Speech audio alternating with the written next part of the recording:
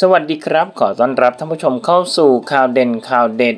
รัศมีแขไปเที่ยวเกาะสมุย ถ่ายรูปเก๋ๆคู่สะพาน ที่หลายคนเห็นแล้วคุ้นๆ วันที่ 4 ตุลาคม โลกโซเชียลต่างแชร์ภาพอินสตาแกรมของรัศมีแขฟ้าเกื้อล้น ดาราพิธีกรชื่อดังที่ได้ไปเที่ยวเกาะสมุยและโพสต์ท่าถ่ายภาพคู่กับราวสะพาน พร้อมระบุแคปชั่นดังนี้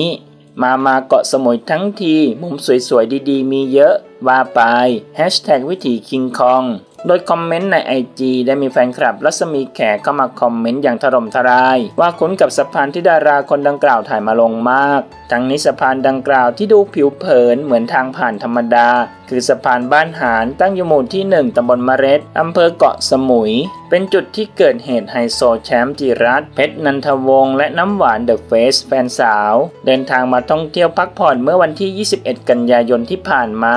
ก่อนประสบอุบัติเหตุขับรถชนราวสะพานดังกล่าว จนรถพังเสียหายยับ โดยไฮโซแชมป์ได้รับบาดเจ็บกระดูกข้อเท้าขาหัก ส่วนน้ำหวานแฟนสาวได้รับบาดเจ็บเล็กน้อย ก่อนที่ทั้งสองจะถูกส่งตัวขึ้นเฮลิคอปเตอร์เช่าเหมารามไปรักษาที่โรงพยาบาลเอกชนแห่งหนึ่งในกรุงเทพมหานคร ซึ่งเมื่อย้อนกลับไปก่อนหน้านี้เมื่อวันที่ 3 กันยายนได้เกิดเหตุไฮโซแชมป์เอาแก้วปลาใส่หน้ารัศมีแขที่ร้านอาหารแห่งหนึ่งในพัทยา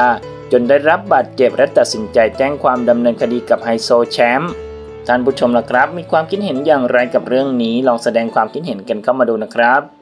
ขอขอบคุณข้อมูลจากข่าวสดขอบคุณครับ